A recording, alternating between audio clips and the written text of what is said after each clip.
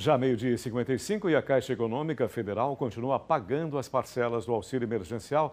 Você sabe no valor de 600 reais. Hoje, dia 9, a Caixa está pagando a primeira parcela para os beneficiários que foram contemplados no terceiro lote. Os saques estão liberados para os nascidos em abril, abril, tá? Amanhã recebem os nascidos no mês de maio. Meio-dia e 56 é